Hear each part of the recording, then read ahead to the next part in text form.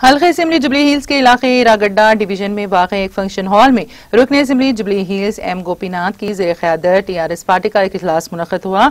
इस मौके पर टी आर एस पार्टी की मुख्तलिफ़ तंजीमी कमेटियों की तश्कील अमल में लाई गई। इस दौरान T R S minority S T B C महिला और सोशल मीडिया कमेटियों की तश्कील अमल में आई, जिसमें इरागड्डा के डिवीज़न सदर की हैसियत से डी संजीवा को मुंतखब किया गया। इसी तरह से मोहम्मद शरीफ कुरैशी को जनरल सेक्रेटरी मुकर किया गया। बारह हज़ार रुकन असम्बली एम गोपीनाथ ने मीडिया से खिताब करते हुए बीजेपी और कांग्रेस को अपनी शदीद तनखीद का निशाना बनाते हुए कहा कि वज़ीर अला के सी आर की जेर क्यादत, रियासत तेलंगाना तरक्की की सिमत गामजन है और तेलंगाना हुकूमत की तरक्याती और फलाही स्कीमात मुल्क भर में मिसाली है।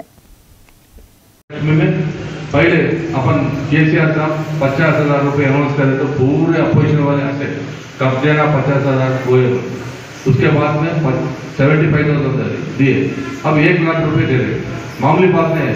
अब एक लाख रुपए दे दे। हर एक गरीब लोग खुशी से एक शादी बनने हो जा रहा गरीब घर में औरत पैदा होने से पहले इधर से जो भी उधार लाते थे, खाली वो इंटरेस्ट के पैसे बनने को वो लोग को तकलीफ़ रहता था। आज केसीआर साहब ये स्कीम से गरीब लोग शादी कर दे रहे शादी के बाद फिर डिलीवरी के लोग केसीआर किट दे रहे और पैसे भी दे रहे एक रुपये बगैर खर्च का, पूरा गरीब लोगों के लिए केसीआर साहब अच्छा स्कीम निकाले।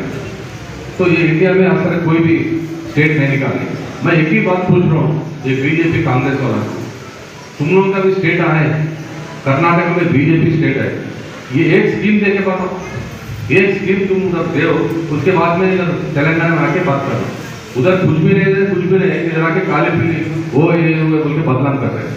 मैं बीजेपी वालों को फंड चाहिए एक ही बात बोल रहा हूँ। तुम्हारे को अगर समय मैं जूबली में लड़े लगा के बताओ, हिंदू, मुस्लिम का लड़े लगे बताओ बोल